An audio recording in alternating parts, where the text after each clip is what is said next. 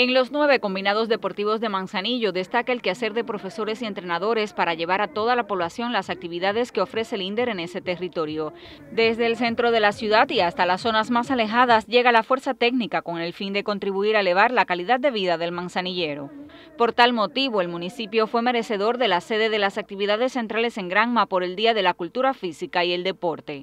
Bueno, Manzanillo como municipio eh, segunda potencia en, la provincia Granma. Hemos desarrollado diferentes actividades, alcanzamos lugar en la gimnasia básica, en la gimnasia artística a nivel provincial.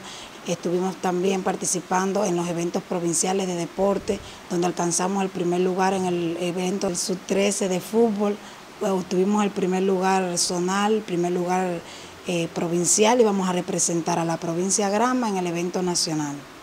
Desde hace varios días en Manzanillo se realizan diversas actividades para conmemorar esta fecha tan importante para el movimiento deportivo del territorio costero. A partir del día 25 de octubre, como explicaba anteriormente, comenzamos con la inauguración de las Olimpiaditas Manzanilleras, Olimpiaditas que por primera vez se realizan en el territorio, que nos van a servir para potenciar aquellos deportes, fundamentalmente de los deportes priorizados en el, municipio y poder tener mejores resultados deportivos. Eh, tenemos planificado además en, los diferentes, en las diferentes comunidades, eh, actividades, programas a jugar, actividades deportivas recreativas, vamos a estar desarrollando simultáneas de ajedrez, encuentros con las glorias deportivas del territorio y figuras relevantes con la prensa.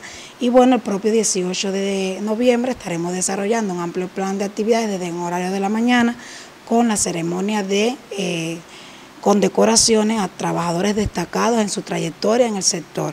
Desde el 15 y hasta el 18 del presente mes, en todos los municipios granmenses desarrollarán diversas actividades para celebrar el Día de la Cultura Física y el Deporte.